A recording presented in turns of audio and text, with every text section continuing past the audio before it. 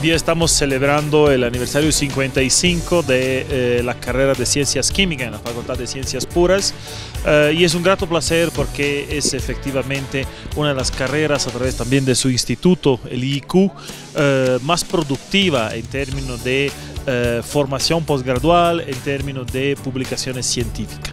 Es de verdad un placer. Además, coyunturalmente, eh, es un honor poder eh, nombrar el Instituto de Investigaciones Químicas eh, a uno de nuestros queridos doctores, el doctor Saúl Cabrera, que lastimosamente nos dejó durante la pandemia del COVID y que sin embargo ha dejado una importante huella que seguiremos llevando adelante a través de los programas, de, la, de los proyectos de investigación. Entonces, felicidades a todos los actores involucrados a la carrera, al instituto, renovar el apoyo y la determinación del DIGIS para seguir creciendo y que sean un ejemplo para eh, todas las otras carreras y instituto.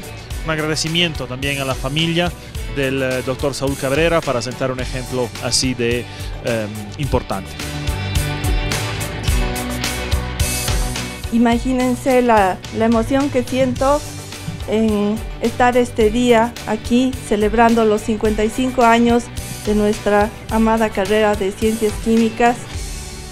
Una carrera que se ha convertido en el hogar de todos y cada uno de ustedes, una carrera en la cual hemos crecido todas las potencialidades que tiene, una carrera muy especial por el número de doctores, por el número de investigaciones, el número de publicaciones y que siempre da la cara por la universidad.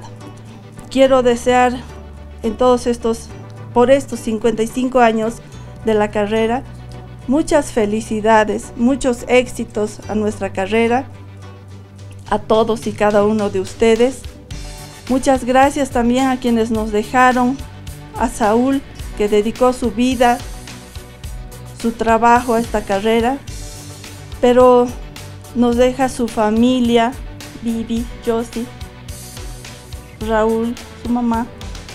Nos deja sus, sus doctores jóvenes, sus doctorantes, sus estudiantes.